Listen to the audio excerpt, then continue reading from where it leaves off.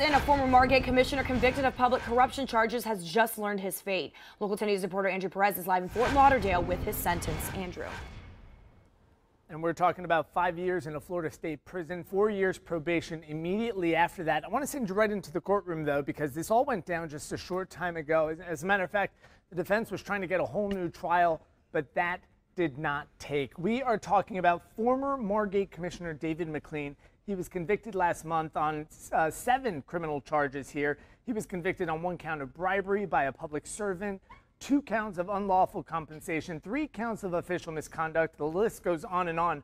Following the conclusion of his trial, jurors found that McLean had used his influence as an elected official to secure political favors for his landlord at a strip mall right around State Road 7, you may remember, where he ran a tiki bar. Again, this all happening within the last couple of minutes. Five years in a Florida state prison, four years probation to follow immediately after. That's the latest here from the Broward County Courthouse. I'm Andrew Price. Back to you. All right, Andrew, thanks so much.